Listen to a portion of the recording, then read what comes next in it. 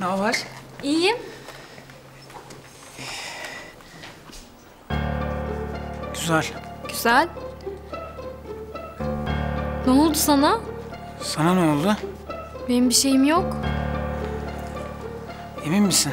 Evet, yani sadece yorgunum biraz.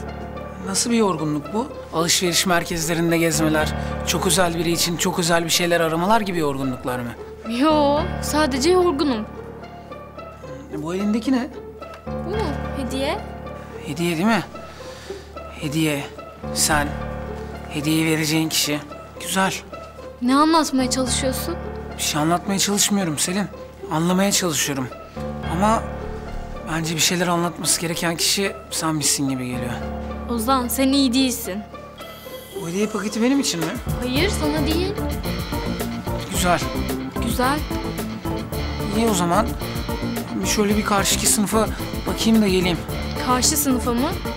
Yasmin o sınıfta değil mi? Evet. Şöyle bir bakıp geleceğim ben. Sen bilirsin. Güzel.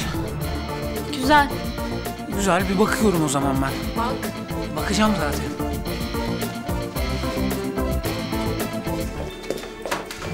Kime aldın ha? Niye? Ne olacak hediyeyi? Ya Ozan sakin olur musun? Sakin makin olamam Selin ya artık sakin makin olamam yeter ya. Ozan'la seni bu sefer ayırıyoruz. Ne yapmaya çalışıyorsun ya? Ne yapmaya çalışıyorsun he? Portakal kafa.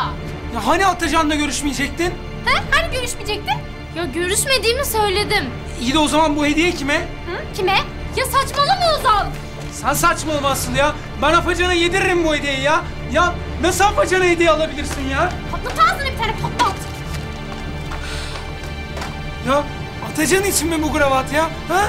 He evet Atacan'ı aldık. İnanmıyorum ya. Ben sana inanmıyorum ya. Ya Ozan ne yapıyorsun? Kendine gel. Ya nasıl yaparsın bana bunu ya? Ya. Al işte ha. İlle bunları yapmana gerek yoktu. Ne oluyor ya?